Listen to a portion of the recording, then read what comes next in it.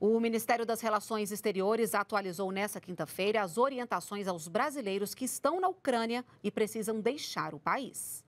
Segundo o Itamaraty, são cerca de 500 brasileiros no país do leste europeu, mas o número de pessoas que já pode ter saído da região ainda é incerto. O Itamaraty orienta que os brasileiros em Kiev devem permanecer em casa, seguindo a recomendação das autoridades ucranianas. Já os brasileiros no leste do país devem abandonar a região. Os que não puderem deixar o país por meios próprios ou seguros devem se deslocar a Kiev e contatar a embaixada. Brasileiros que estejam em Odessa ou Lviv devem sair da Ucrânia rumo à Moldávia ou à Polônia.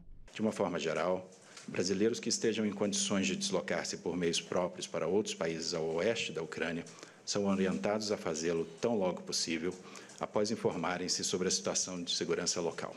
A Embaixada do Brasil ou a de qualquer outro país não tem condições de fazer operações de resgate. Na manhã dessa quinta-feira, o Itamaraty destacou por meio de nota que acompanha com grave preocupação os ataques da Rússia à Ucrânia.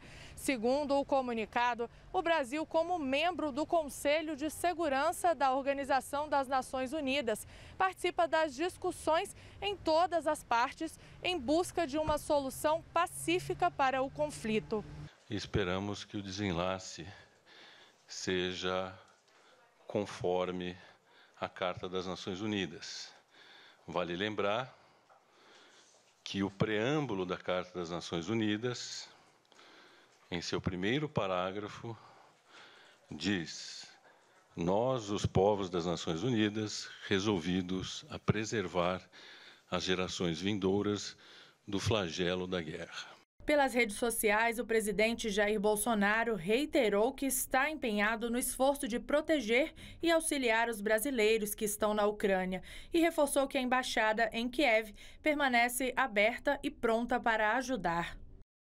Brasileiros que quiserem mais informações podem acessar o site kiev.itamaraty.gov.br ou a página do Ministério das Relações Exteriores no Facebook.